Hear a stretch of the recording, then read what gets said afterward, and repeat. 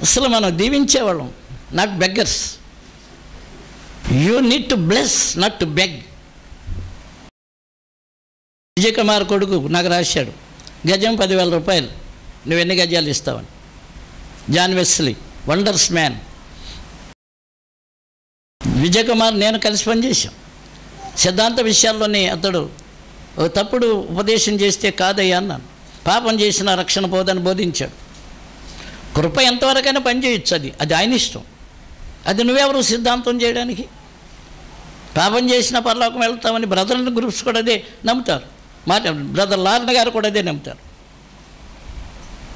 కృప మనల్ని వెంబడించి తలుపు తట్టి తలుపు తీయకపోతే ఆ కృపాకాలం నీకు నీవే ఉగ్రతను సమకూర్చుకుంటున్నాం.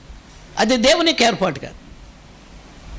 కనుక ఇక్కడ మనం హౌ వి యాక్ట్ మనం ఏ రీతిగా దాన్ని స్పందిస్తాం? ఆ కృపా సమయానికి ఎప్పుడు మనం హృదయం ఇస్తామనేది చాలా ప్రధానం. దాంతో విజయ్ కుమార్ నేను కొంచెం సెపరేట్ అయ్యాం. ముందు ఆయన నాన్నగారి గారి దగ్గర పనిచేసేవాడు. తర్వాత రాజమండ్రిలో ఆయన మీటింగ్లో నేను స్పీకర్గా వస్తుండేవాడిని మేము వేరైనా సహకారం చేసుకుంటూ వచ్చాం. వాళ్ళు పంపారు. అసలు మీకు సిగ్గుందా? అన్న రాశాను మీకు అసలు సిగ్గుందా? మీ బాబు నువ్వు మారాలయ్యా? ప్రసంగాలు ఎందుకు అమ్ముకుంటున్నావు? ఎన్ని కావాలి? లక్ష కావాలా? నీకు మూడు రోజులకి? నువ్వు ఎరుసలేం వెళ్తే వీళ్ళ దగ్గర చందా కవర్లు ఇస్తావా? సిగ్గులేదా? దినకరానికి రాశాను. వీళ్ళకేంటి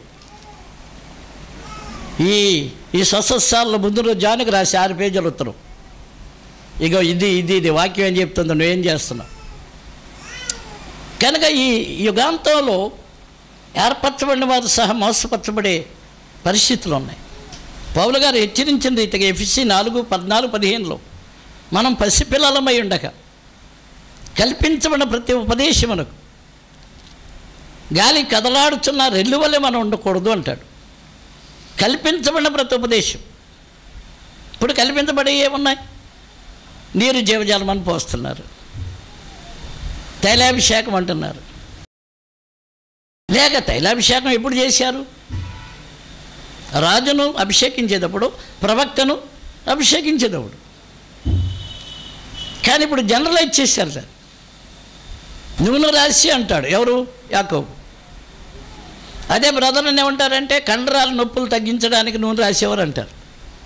సరే నేను నలభై ఐదు సంవత్సరాలు సేవలో తిరిగాను కనుక దాదాపు అన్ని సిద్ధాంతాలు తెలుసు నాకు. దాదాపు అందరితో కూడా అందరితో కలిసి మాట్లాడాం. కానీ ప్రమాదకర పరిస్థితిలో ఉంది ఈ యుగాంతంలో.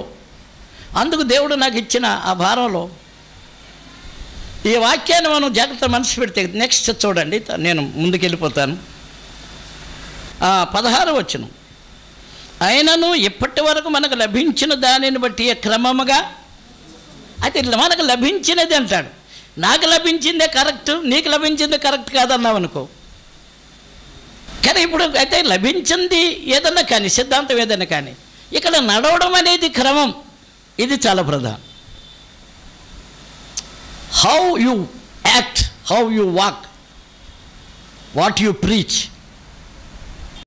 నువ్వేం ఉపదేశిస్తున్నావు? నువ్వు ఎలా నడుస్తున్నావు?